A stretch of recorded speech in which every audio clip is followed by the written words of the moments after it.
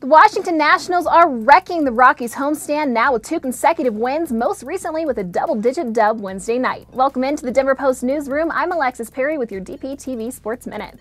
After five innings on the mound, righty Tyler Chatwood got his second loss at Coors Field this season after giving up five runs on eight hits, including a pair of homers to Trea Turner and Ryan Zimmerman in the top of the fifth. Bryce Harper torched the Rockies again, going four for four for the third time this season, and is officially hitting a league best 432 average after crossing home plate twice and bringing in Turner on a single to left field. The Rockies didn't look like themselves Wednesday night, committing three errors, including one at the hand of Carlos Gonzalez in the second.